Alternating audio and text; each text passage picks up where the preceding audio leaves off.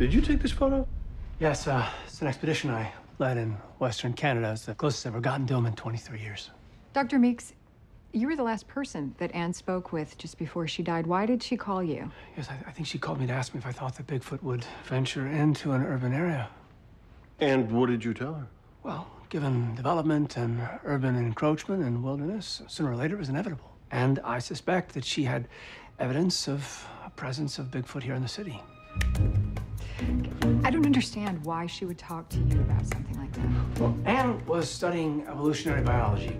She was an honors student at the university, but she was actually a hugely respected Bigfoot expert. She even gave me that extremely rare Yeti finger. Are you saying Anne was a Bigfoot hunter? N- No, no, no, uh, no, not a, not a hunter. No, uh, Anne was uh, Native American, and uh, in her tribe's culture, a Bigfoot was considered benevolent or a protector. When she was a child, she actually saw a Bigfoot, and so after that, she devoted her life to their study.